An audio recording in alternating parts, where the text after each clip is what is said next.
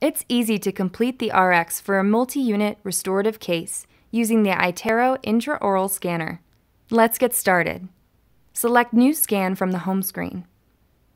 Complete the required information in the RX.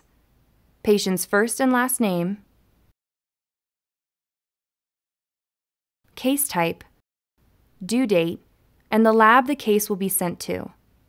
The required items are identified by the red asterisks. Choose the tooth numbers from the tooth diagram.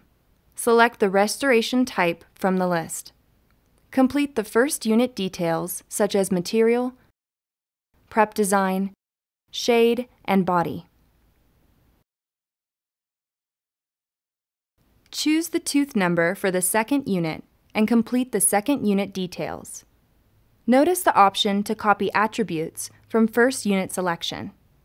If you wish to change a particular item, simply uncheck the option and choose your new preference from the drop-down menu. When you are finished, tap the scan icon to begin scanning. In our next video, we will demonstrate how easy it is to chart for a bridge case.